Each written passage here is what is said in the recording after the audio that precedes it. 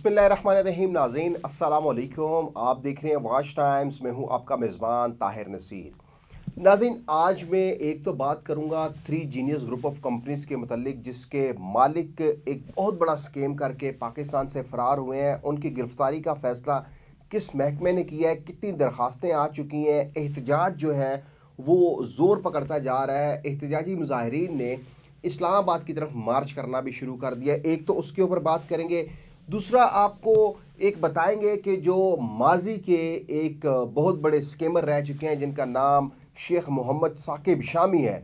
उनके मतलब हमें मज़ीद मालूम ये मौसू हुई हैं कि यू टाइल नामी कंपनी उन्हीं की है और जो राव सुहेल तारिक है, वो सिर्फ़ एक फ्रंट मैन पे एक घोड़ा है जिसको भगाया जा रहा है। उसी के ज़रिए इन्वेस्टमेंट इकट्ठी की जा रही है। इसके ऊपर बात करूँगा और तीसरा मैं आज आपको ये बताऊँगा कि मार्केट में एक ऐसी कंपनी आ चुकी है कि जो दो माह में तीन सौ फ़ीसद मुनाफा देती है और वो कंपनी भी एक बहुत बड़े स्कीमर्स हैं जो मार्केट में आए हुए हैं और उन्होंने आवाम को उनकी जमा पूंजी से महरूम करने के लिए एक नया ड्रामा खेला है कि मिनिमम जो इन्वेस्टमेंट है वो आप 12 डॉलर से कर सकते हैं और दो माह के बाद, यानी कि 60 दिनों के बाद वो 12 डॉलर आपके 36 डॉलर बन जाएँगे। एक उस कंपनी का नाम भी बताऊँगा कुछ और हमारी टीम उसके ऊपर काम कर रही है। आ, बात करेंगे मैं सबसे पहले ईडन के ईडन ट्री के नाम से एक कंपनी जो भी मार्ज वजूद में आई है। वो काम तो कर रही है लेकिन वो भी एक पोंजी स्कीम है। आवाम को बड़े मुनाफे का लालच दे रही है और उसके जो मालिक हैं हमारे तक इतला ये पहुँची है कि ताज अली जो उनके अपलाइनर हैं वही इसी कंपनी के मालिक हैं।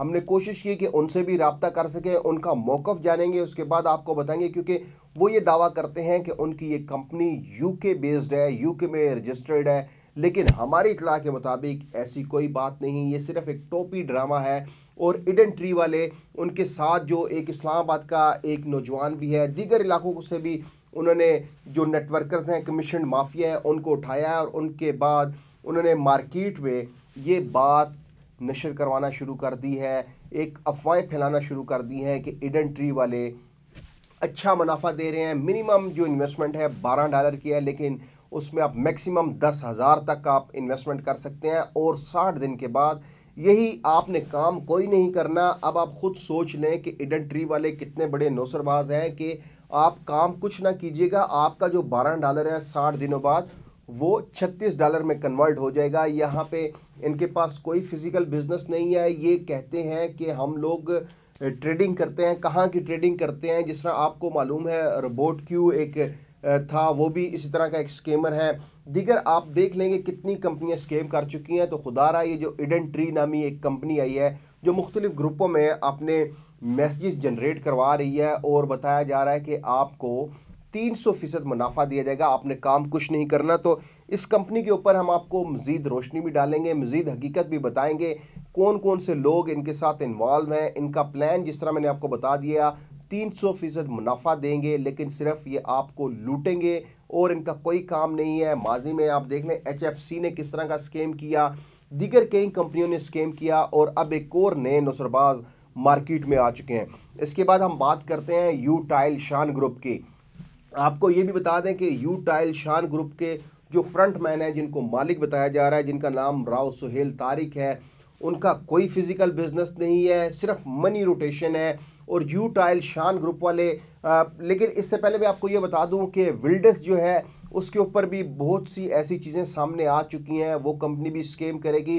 और साथ साथ आपको वंडर मेकर का बता दें आपको मालूम है कि वंडर मेकर वाले भी वो जो दो डॉक्टर साहिबान थे, बड़े दावे करते थे और इतलात ये मौसू हो रही हैं कि वो भी अब रफू चक्कर होने के स्टेज पे पहुँच चुके हैं रन करीब वो भी रफू चक्कर हो जाएँगे। लेकिन यू टाइल की मैं बात कर रहा था, जिस तरह वो दावे करते हैं राव सुहेल तारिक साहब कि हमारे बहुत बड़े बड़े बिज़नेस हैं। अब आप खुद अंदाज़ा कर लीजिए कि जिस बंदे के इतने बिज़नेस होंगे तो उसको दस हज़ार, पंद्रह हज़ार की इन्वेस्टमेंट की क्या ज़रूरत है? लेकिन हमारे तक इतलात ये भी मौसू हुई हैं कि शेख मोहम्मद साकिब शामी इस कंपनी के साथ जुड़े हुए हैं। दीगर उनका एक जो माजी का टोला था, वो इस कंपनी के साथ जुड़ा हुआ है और इन्होंने मिल के मैं आपको कुछ वॉइस नोट्स भी ऐसे सुनाऊँगा जिसमें आप को तस्दीक हो जाएगी कि यू टाइल और विल्डस कंपनी किसकी है और वॉइस नोट उन्हीं की ज़ुबानी होंगे। वो वॉइस नोट कभी झूठ नहीं बोलते, लेकिन आपको फिर बता रहे हैं कि राव सुहेल तारिक, आप माजी में देख लें कहाँ कहाँ पे रहे किन किन के साथ रहे और अब जो शान ग्रुप, यानी कि यू टाइल, अब शान ग्रुप का ये दावा करते हैं, लेकिन शान ग्रुप के जो मालकान हैं, वो और हैं। इन्होंने सिर्फ़ एक नाम इस्तेमाल किया, उस नाम पे आवाम को बेवकूफ़ बना रहे हैं। वो दावे करते हैं कि जनूबी पंजाब में, अंदरूनी पंजाब में हमारे फ़िज़िकल प्रोजेक्ट हैं। उनका कोई फ़िज़िकल प्रोजेक्ट नहीं है। जो राव सुहेल तारिक हैं, उनसे मेरी बात भी हुई। उनको यही नहीं पता कि मुजारबा का लाइसेंस क्या स्टेट बैंक ऑफ़ पाकिस्तान देता है या security exchange commission of Pakistan देता है। सिर्फ़ उनको ये मालूम है कि मैंने इन्वेस्टमेंट कैसे उठानी है और हती कि उनके कुछ ऐसी चीज़ें भी हमारे सामने आई हैं, क्योंकि हमें इतला ये मौसू हुई है कि वो मेडिकल स्टोर पे सेल्समैन है। और अब ख़ुद आप अंदाज़ा कर लीजिए कि जो मेडिकल स्टोर का एक सेल्समैन है, उसको फ्रंट पे खड़ा करके उसके नाम पे इन्वेस्टमेंट इकट्ठी की जा रही है। शेख मोहम्मद साकिब शामी खुद तो मलेशिया में रफू चक्कर हुए हैं। उनके पीछे ऑलरेडी उनको नैब ने नोटिस भी जारी किया था और उसके बाद की हकीकत भी मैंने आपको बताई थी। लेकिन आपको फिर पहले से आगाह कर रहा हूँ कि यू टाइल शान ग्रुप की जो कंपनी है, ये भी बहुत बड़े नौसरबाज हैं, लुटेरे हैं। यू टाइल के जो फ्रंट मैन है, राव सुहेल तारिक, उन्होंने कहा कि मैं इस्लामाबाद आऊँगा, आपको अपने मौक़ से आगाह करूँगा कि मेरे कौन कौन से फ़िज़िकल बिज़नेस हैं। मैं डॉक्यूमेंट्स लेके आऊँगा, लेकिन जब फ़ोन पे मैंने सवाल किए तो वो, उन्होंने राह फ़रार इख्तियार कर ली। और ज़ाहरी बात है कि जब आपका एक एम है कि आपने सिर्फ़ पाकिस्तानी आवाम को लूटना है। आप लूटने के लिए आए हैं और आप सिर्फ़ एक घोड़े का काम कर रहे हैं, जहाँ पे जिस तरह वो शतरंज खेलें तो घोड़े को जिस तरह घुमाया जाता है, इस तरह राव सहेल तारिक को भी घुमाया जा रहा है। बहुत बड़े बड़े और भी नाम इनके साथ जुड़े हुए हैं।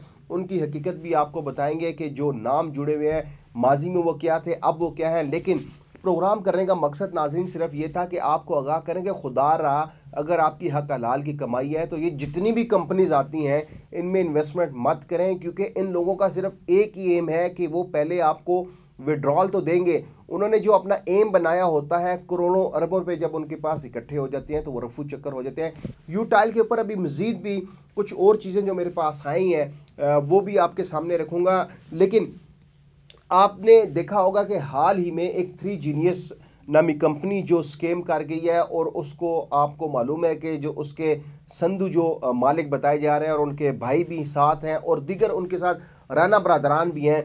अब ये 18 अरब रुपए से जायद का स्केम करके इस मुल्क से फ़रार हो चुके हैं। कुछ जो एहतजाजी मुजाहरे हैं, आप देख लें कि सिंध में एहतजाजी मुजाहरे शुरू हो चुके हैं। इन लोगों ने हमारे से रबता किया है और ये कहा है कि वो अब ये एहतजाजी मुजाहरा मार्च करेगा इस्लामाबाद की साइड पे। और मेरी जो इदारों से बात हुई है, जिसमें नैब है एफ़ आई ए है, इन लोगों से बात हुई है। इनके हुकाम का ये कहना था कि हमारे पास ऑलरेडी बहुत सी दरख्वास्तें मौसू हो चुकी हैं। इंटरपोल के ज़रिए जो थ्री जीनियस के मालिक हैं, इनकी गिरफ्तारी का फ़ैसला किया गया है। लेकिन कुछ जो मजबूर पाकिस्तानी अवाम है, जिन्होंने पैसे लगाए हैं, उनके कुछ वीडियो क्लिप्स हैं जो हमें मौसू हुए हैं। आपको उनकी ज़ुबानी सुनाते हैं कि इन नुसरबाज़ों ने इनके साथ किस तरह का फ्राड किया, वो आप उनके बयान सुनने असलकुम मेरा नाम मोहम्मद रिहान है और मैं कराची का रिहायशी हूँ। मेरा क्यू वर्ल्ड में दो लाख का इन्वेस्टमेंट है और तमाम इदारों से गुजारिश है कि मेरे पैसे वापसी दिल। बसमीम असलकुम एमो दा खबर दो चेमो तकरीबन पुस्तर गेड़ी दियो? दो जमन में मजूरा प्रोतदी कनी पुटगोन वा ज़रूर ओमो तो दा दरखास्त चेमो ताला दे पर जिस तरीका के तजोरा के से पखरा पुस्तर गेड़ी नो दो जमन में बच्चों में पैसे प्रोतदी पुकाट से। जिदा से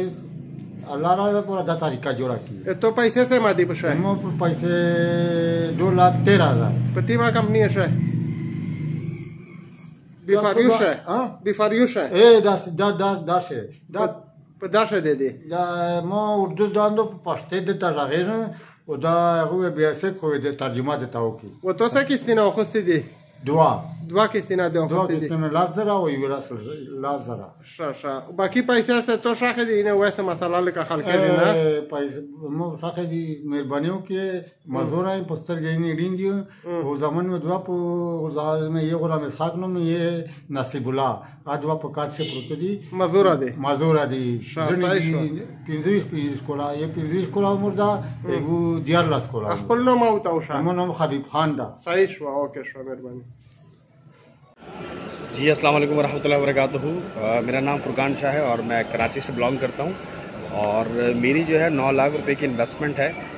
जो कि मुझे एक आध दफ़ा ही कोई प्रॉफिट मिला है, वो भी री इन्वेस्ट हो गया तो मेरी आप तमाम इदारों से गुजारिश है कि प्लीज़ आप हमारे पैसे क्यू वर्ल्ड से वापस दिलवा दीजिए। थैंक यू जी तो नाजरीन, ये वो बयान थे कि जो मुतासरीन हैं अब देख लें एहतजाजी मुजाहरे भी शुरू हो चुके हैं थ्री जीनियस के ख़िलाफ़, और हमारी भी कोशिश ये होगी कि थ्री जीनियस का ये जो मालिक है, जो एक नौसरबाज है, लुटेरा है, इसकी गिरफ्तारी के लिए हम भी अपने तौर पर आवाज़ बुलंद करते रहेंगे।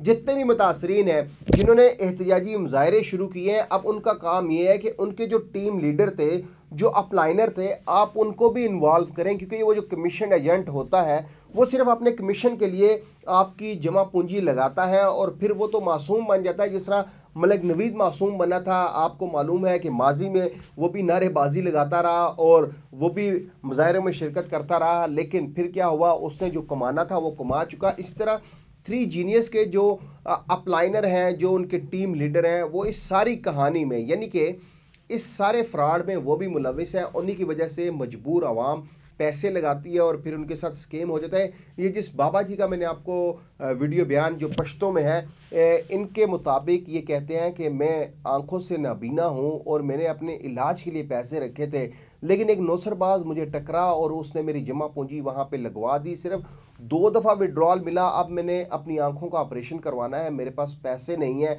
तो थ्री जीनियस के जो मालिक हैं, जो नौसरबाज हैं, खुदारा कुछ तो रहम करें। आप रहम करेंगे तो अल्लाह पाक आप पर रहम करेगा। क्योंकि जब जुल्म हद से बढ़ता है तो रब की लाठी बड़ी बेआवाज़ है और वो लाठी जिस टाइम चलती है तो समझ नहीं लगती, होता है क्या? थ्री जीनियस के मालकान को गिरफ़्तार करने के लिए वॉच टाइम्स का प्लेटफॉर्म हासिल है।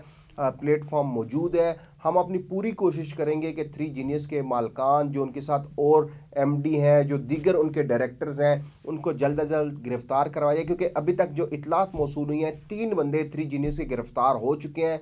दीगर गिरफ्तारियों के लिए भी छापे मारे जा रहे हैं और जो थ्री जीनियस के मालिक और उनका भाई जो दुबई में रुपोश है, उनकी गिरफ्तारी के लिए इंटरपोल से मदद लेने का फैसला किया गया है। और आप देखिएगा आइंदा दो से तीन हफ्तों के दौरान थ्री जीनियस के मालकान गिरफ़्तार होकर पाकिस्तान में वापस लाए जाएँगे। अगले प्रोग्राम तक के लिए अपने मेज़बान ताहिर नसीर को इजाज़त दीजिए। अल्लाह हाफिज़।